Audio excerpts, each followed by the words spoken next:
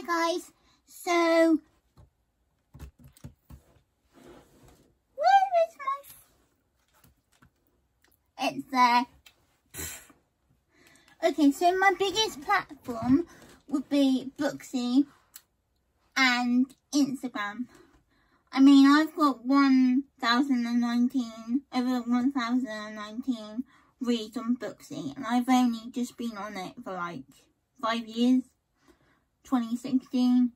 Um, and then Instagram, I got over 400 followers on my main story account where I post my progress of draft version of my book and then Booksie videos, update videos. Then on my Amazon account, my Instagram, Amazon. Um, I've got over 1k. Um, this is nowhere bragging. Um,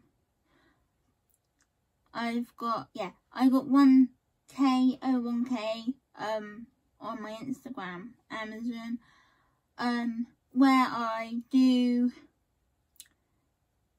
Amazon front covers of each book. Uh, the process of the manuscript, um, how many words and how many pages, etc. And then these Amazon videos, which go on there. Um, I decided to do this series because I just want to help young authors and young writers like me. I mean, I'm only 24 and I'm published. And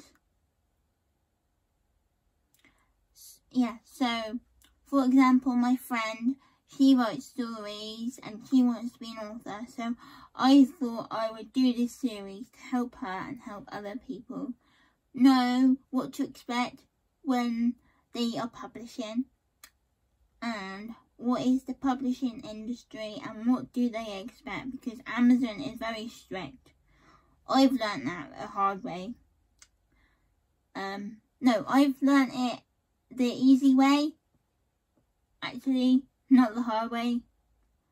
Um, but yeah, if you want um help about anything, just come to me, you know, help.